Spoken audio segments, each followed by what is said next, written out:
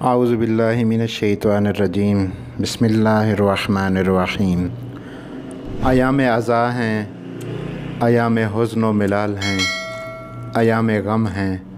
جب بھی ماہ محرم کا چاند آتا تھا، ائمہ کی سیرت یہ تھی کہ اپنے آپ کو محزون اور غمگین رکھتے تھے اور اپنے اصحاب کو جمع کرتے تھے اور امام حسین علیہ السلام اور ان کے اصحاب کی شہادت پر گریا کرتے تھے۔ اور اسی طرح یاد امام حسین علیہ السلام کے ساتھ ساتھ عبادت خدا میں بھی مشغول ہوتے تھے۔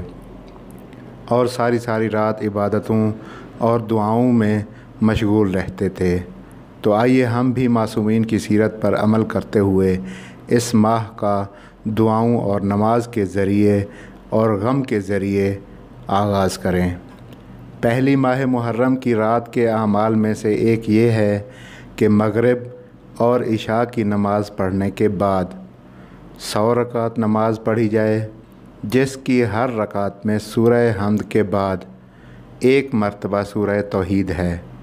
دو دو رکعت کر کے پڑھنی ہے، نیت اس طرح سے کرنی ہے کہ دو رکعت نماز پڑھتا ہوں یا پڑھتی ہوں۔ شب اول ماہ محرم قربتاً اللہ۔ پھر اس کے بعد دو رکعت نماز ہے جس کی پہلی رکعت میں سورہ حمد کے بعد سورہ انعام ہے اور دوسری رکعت میں حمد کے بعد سورہ یاسین ہے۔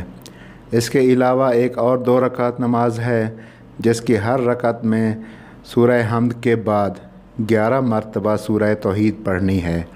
اس کی فضیلت میں پیغمبر اسلام صلی اللہ علیہ وآلہ وسلم فرماتے ہیں کہ اگر کوئی شخص اس دو رکعت کو پڑھے اور اس کے اگلے دن یعنی پہلی ماہ محرم کو روزہ رکھے تو گویا کہ اس نے پورا سال نیکیاں کی ہوں اور پورا سال وہ شخص ہر مصیبت اور بلا سے محفوظ رہے گا۔